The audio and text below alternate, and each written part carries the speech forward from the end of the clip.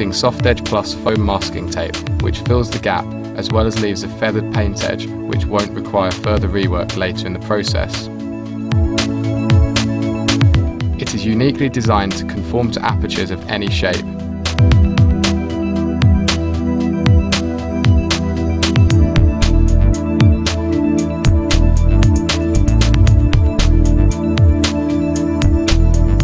Here you can even see Gary using it in the A-post, which is a very tricky area to mask.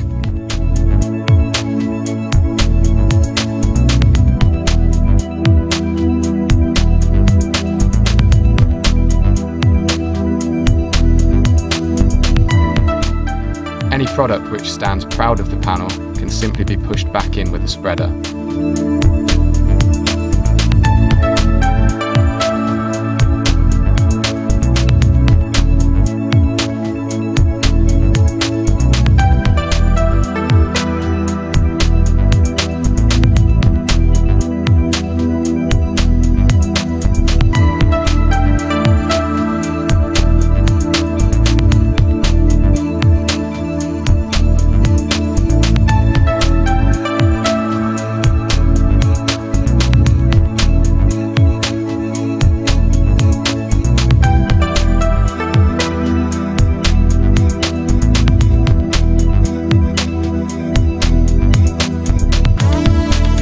Nineteen millimeter 3434 tape is used in the critical areas. It has better flexibility, water resistance and performance compared to general purpose masking tapes. Premium Plus clear masking film is used to protect the rest of the vehicle from any paint overspray. That's right. It has a fantastic purpose-made dispenser to allow single operator application to. One of the biggest benefits of this masking film is that the vehicle doesn't need to be totally dry before putting it over the car. Any excess moisture is wiped away, but a damp vehicle can be protected, yet still not leave ghosting marks.